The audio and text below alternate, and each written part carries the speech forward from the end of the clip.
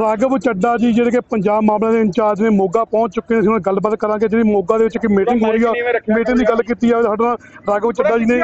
ਗੱਲ ਗੱਲ ਕਰਦੇ ਹੋਣਾ ਉਸ ਬਾਰੇ ਕੀ ਕਹਿਣਾ ਮੋਗਾ ਪਹੁੰਚੇ ਨੇ ਮੈਂ ਕਹਿੰਦਾ ਬਿਲਕੁਲ ਉੱਥੇ ਤਸਵੀਰਾਂ ਦਿਖਾ ਰਿਹਾ ਸਿੱਧੀਆਂ ਉਸ ਜਗ੍ਹਾ ਦੇ ਉੱਤੇ ਰਾਗਵ ਚੱਡਾ ਜੀ ਪਹੁੰਚ ਚੁੱਕੇ ਨੇ ਰਾਗਵ ਜੀ ਅੱਜ प्रेस कॉन्फ्रेंस ਕੀਤੀ ਜਾ ਰਹੀ ਆ ਆਮ ਆਦਮੀ ਕੀ ਮੋਟਿਵ ਹੈ देखिए हमारे जितने भी लोग म्यूनसिपल चुनाव लड़े आज उनसे गलबात करेंगे उनकी हौसला अफजाई भी करेंगे और पूरे चुनाव की समीक्षा करेंगे इसी के साथ साथ आम आदमी पार्टी को कहा जाता था कि शहरों में कमज़ोर है कहा जाता था कि ये पार्टी का संगठन नहीं है आज इस चुनाव में हमने ये दिखा दिया कि आम आदमी पार्टी की फ़ौज गली गली मोहल्ले मोहल्ले में है शहरों में है और ज़ीरो सीट से 67 सीट तक आम आदमी पार्टी पहुंची है आने वाले चुनावों की रणनीति बनाने के लिए आज सबसे गल बात करें राहुल जी पंजाब सरकार के चार साल पूरे हो चुके ਵਿਧਾਨ ਸਭਾ ਚੋਣਾਂ ਤੋਂ ਵਾਅਦਾ ਕੀਤਾ ਸੀ ਪੰਜਾਬ 'ਚ ਨਸ਼ਾ ਖਤਮ ਹੋਊਗਾ ਤੇ ਜਿਹੜਾ ਕਿ ਕੀਤਾ ਜਾਊਗਾ 4 ਸਾਲ ਬੀਤ ਚੁੱਕੇ ਆ ਆਮ ਆਦਮੀ ਜਿਹੜੀ ਪਾਰਟੀ ਆ ਅਕਾਲੀ ਦਲ ਪਾਰਟੀ ਆ 1 ਤਰੀਕ ਨੂੰ ਵਿਧਾਨ ਸਭਾ ਚੁਣਾਵ ਦਾ देखिए कांग्रेस पार्टी और कैप्टन साहब ने बीते चार साल में मुझे लगता है कि पंजाब के इतिहास में सबसे निकम्मी और सुस्त सरकार चलाई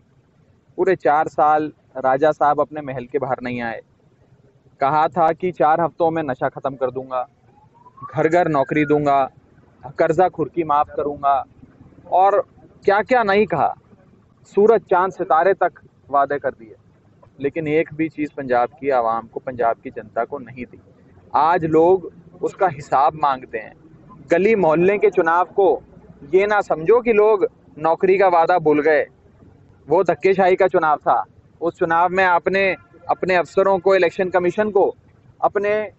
कैंपेन एजेंट की तरह इस्तेमाल किया सर अगर ये ना समझो ये ना समझो कि धक्केशाही के चुनाव से आप लोग लोगों को नौकरी का वादा नशा खत्म करने का वादा भुला दोगे महाराली निकाली जा रही है आपकी तरफ 21 मार्च को रविवार के दिन बागा पुराना मैं अरविंद केजरीवाल साहब आम आदमी पार्टी के मुखिया हमारे प्रधान ਆਮ ਆਦਮੀ ਪਾਰਟੀ ਦੇ ਪੰਜਾਬ ਪ੍ਰਧਾਨ ਜਿਹੜੇ ਕਿ ਨੇ ਮਾਨਸ ਜੀ ਪਹੁੰਚ ਚੁੱਕੇ ਨੇ ਭਗਵੰਤ ਮਾਨ ਦੀ ਗੱਲ ਕਰਨ ਮਾਨਸ ਸਾਹਿਬ ਸਤਿ ਸ਼੍ਰੀ ਅਕਾਲ ਜੀ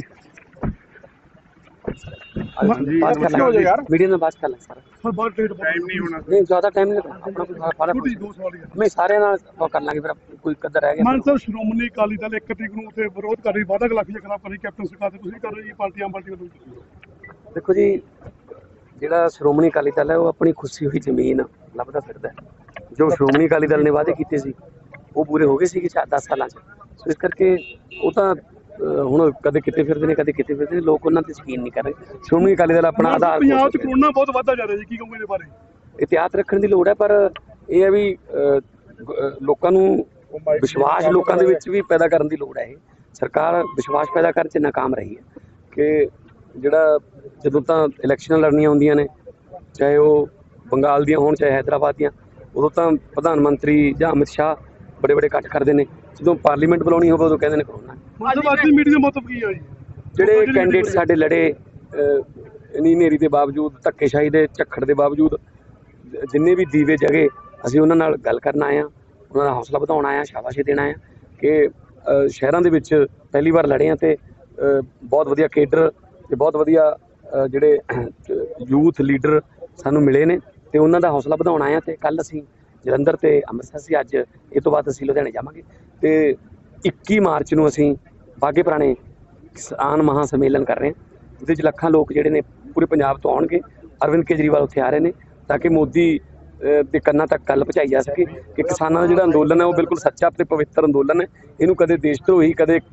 ਥੋੜੇ ਜਿਹੇ ਲੋਕਾਂ ਦੀ ਭੀੜ ਕਦੇ ਮਾਓਵਾਦੀ ਪਤਾ ਨਹੀਂ ਕੀ ਕੀ ਕਹਿ ਰਹੇ ਨੇ ਸੋ ਤਿੰਨੇ ਖੇਤੀ ਕਾਨੂੰਨ ਵਾਪਸ ਕਰੋ ਤੇ ਐਮਐਸਪੀ ਦੀ ਗਾਰੰਟੀ ਦਿਓ ਇਸ ਕਿਸਾਨ